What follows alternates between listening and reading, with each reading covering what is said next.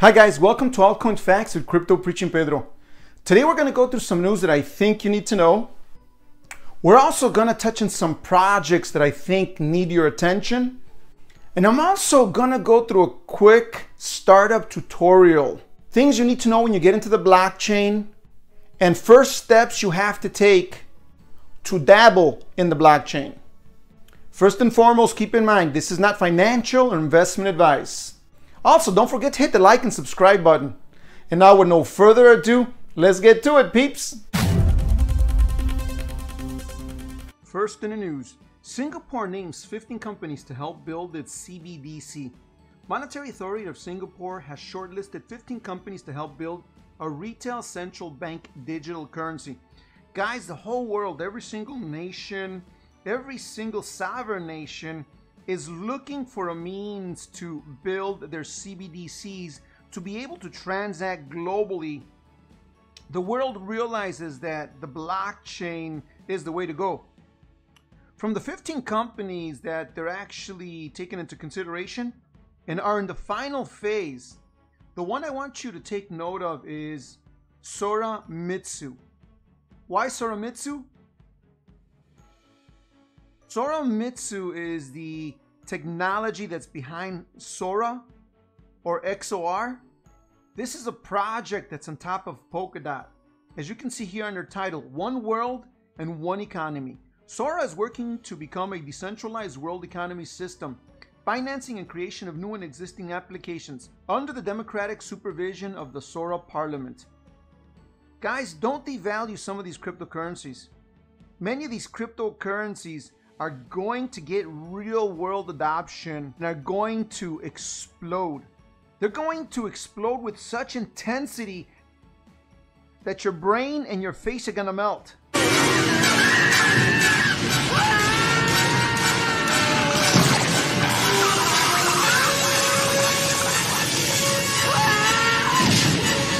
Guys, look at this. Sora. Ranked number 400 at a price of $290. But that's not it. Total supply of 345,000. Guys, this coin will one day easily be $10,000. They are building their own ecosystem of NFTs, gaming, stable coins, you name it. Take some time and research a project, and more than anything, put it on your radar. Hey guys, and speaking about the CBDCs and global adoption of CBDCs, no matter which blockchain is chosen, no matter which country it's coming from or that blockchain is integrated into, Quant Network is leading the pack. They are what you would call an operating system where any CBDC on any blockchain can run on top of Overledger and transact globally. Guys, Quant has been exploding. Don't you know pump it up? You got to pump it up. Don't you know pump it up? You got to pump it up. Don't you know pump it up? You got to pump it up. Don't you know pump it up?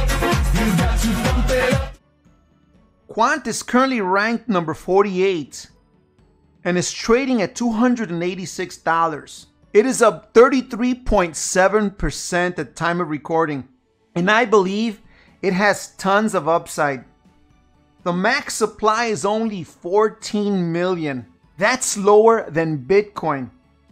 In my most humblest opinion, Quant Network is the Google or the Amazon of tomorrow in the blockchain sector, peeps. So if there's a dip, dollar cost average. But once again, I want to put Quant on your radar, peeps.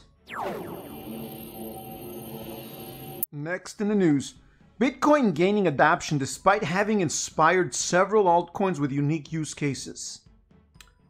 I want to point you to this section of this article where we read previously Willy Woo, an on chain analyst, expressed long term investors are still climbing towards their peak accumulation which marks bottoms. Early signs to me that the bull market may continue into 2022. And BTC is in the process of breaking free from the four year internal cycle from the halvenings. Guys, on chain analysis clearly indicate that long term holders are continuing to accumulate Bitcoin at these levels. You have to understand, Bitcoin is a hedge against inflation. Bitcoin is a store of value. The altcoins, most other projects, are what you would call wealth accumulation. And Bitcoin is becoming wealth preservation. In order to preserve your wealth, you have to make your wealth. But the beautiful part about a nascent sector such as the blockchain, which many early adopters like MicroStrategy are noting, Bitcoin is acting as wealth preservation and accumulation as it grows in value and gains adoption. So, guys, the future for Bitcoin is very bright. And believe me, you, we are at the very beginning, peeps. The very beginning. Guys, I want to draw your attention to a tweet from Mike Novogratz. For those that don't know, Mike Novogratz is the head or the CEO of Galaxy Digital, one of the largest investors into cryptocurrencies. Check out what he tweeted. Who has the research comparing the different level 1 solutions, speed, security, decentralization, etc. Team Galaxy is working on a comprehensive piece. Intangible coins. I'd love to see what else is out there. This certainly seems to be the era of Web3. Thanks in advance. Guys, Web3. What is Web3? Web3 is Polkadot. Web3 are the blockchains that will revolutionize the world as we know it. Web3 is where you're going to be able to transfer value over the internet. Guys, this is insane. Through smart contracts, where the middleman is removed and the smart contract executes the transaction. This is mind blowing. So, peeps, do some research and look into the Web3 blockchains, protocols, infrastructures, layer one and layer zero blockchains. They are going to be the future, peeps. All right, all right, all right, peeps. I've been getting a lot of questions as to what steps are necessary to begin trading or investing in cryptocurrencies. Number one, you're going to need to create an account with Coinbase at coinbase.com. This is going to be essential because this is going to be your on ramp and your off ramp for your fiat. So, this is going to be extremely important. Without this, there's no beginning. Coinbase is a must. Now, they do ask for KYC, which is uh, a lot of personal information, because they are SEC compliant. They're regulated by the USA, so they have to abide by all AML laws. Number two, you're to have to install from Google extensions. You can YouTube it, and there's many great tutorials. MetaMask is to be needed because you're to use this extension to go to decentralized exchanges and buy different cryptocurrencies. You have to be very cautious as to not to get phished, so you have to go to the actual Google extensions. You got to keep this in mind. You have to save your private key. You have to save your mnemonic phrase. You can't take a photo of them. You have to write them down and you have to make a duplicate. You gotta keep them in separate places. This will allow you to load your wallet if something happens to your computer or you go to a different computer. You can load the same wallet because it's actually on the blockchain. So this is very important if you want to get into the blockchain and cryptocurrencies. Next thing you want to do, because there's thousands of cryptocurrencies, in order for you to keep track of the market or start researching some of these projects, I would install CoinGecko.com and CoinMarketCap.com on my computer and on my phone. These are extremely important as you can see where the overall market is and you can look into different cryptocurrencies. Now, the great part about these websites, when you click on the actual name of whatever the project is, it's going to give you a lot of relevant information. For instance, it's going to give you the website where you can click and then you can read about the projects. It will also show you different social medias that they have. And it will also tell you what the max and total supply is. And here, it will give you a slight overview of what's going on in the market with the actual cryptocurrency. It will also give you a small review of what the project does. And if you want to know where to buy it, if you click on markets, it'll show you all the different exchanges that are available. Next thing you need to know, next, you need to download this FTX app, which used to be Blockfolio on your phone. If you buy any cryptocurrencies, you can keep track of those cryptocurrencies. You can input how many you purchased, where you purchased them, and you can track your profit and loss. So once again, blockfolio.com. Now, this is one of the most important items that you will need when you are trading or if you're in cryptocurrencies. You have to get a Ledger X. The Ledger X is a wallet. It's sort of like a bank vault where the wallet itself, in order to use it, you have to connect it to your computer. But once you disconnect it, it's not accessible. Even though your coins are on the blockchain, there's no way it can be hacked. This is extremely important. Now, when you get your Ledger X, it's extremely important you copy the seed phrase. You write it down. You make copies. And then you grab your Ledger X and you put it in a safety deposit box somewhere. Great part about it, if something happens to your Ledger X, that piece of paper where you wrote down your seed phrase, you can use that to import that seed phrase and upload your wallet to a new device. But guys, I cannot tell you how important this is. This is going to keep all your cryptocurrencies extremely safe.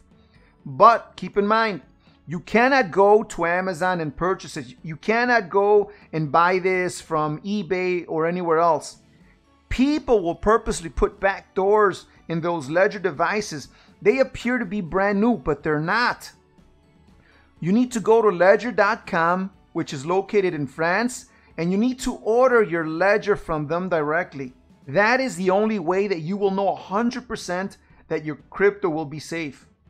Another thing that is very important when you're first getting started in cryptocurrencies, you need to make sure that you subscribe to YouTube. Why? Most of the influencers in the blockchain are on YouTube. Once again, YouTube is an extremely handy tool where you can review many projects where other influencers have performed deep dives to help you understand the technology behind those projects. Hey guys, here's a couple very important things to always do and never do. First, let's go to always do. One, you need to always add Google Two Factor Authenticator for accessing all exchanges. This is a great way to avoid being hacked and getting your cryptocurrency stolen. Number two, you need to call your phone provider and ask them to require an in person ID for any changes. Why? To avoid SIM swapping hacking. Number three, always use a VPN. You want to use a VPN to make sure that you are safe, to make sure that all your information is being protected. Here's some things you never want to do.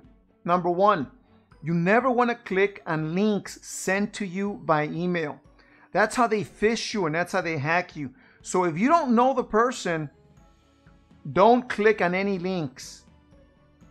Number two, never use two factor texting to your phone. Why? If they can get to your phone and they do a SIM swap, they can get into the exchange and hack your crypto and take it. So never do this. Use a Google two factor authentication. That is way safer. Number three, never click on links in Telegram groups. Number four, never share your private keys or mnemonic phrase with anyone because this will give them access to your wallet. This is so important, guys. no matter who they are, no matter if they are really admins or not, there's no reason why they should be asking you for this information. Never give it out. And number five, never FOMO. FOMO stands for fear of missing out. When you're in the blockchain, it's going to become very emotional. And when some of these cryptocurrencies go up, you feel like you're missing out. Guys, don't chase the pump. Instead, wait for the market to come back to you. Wait for that retracement.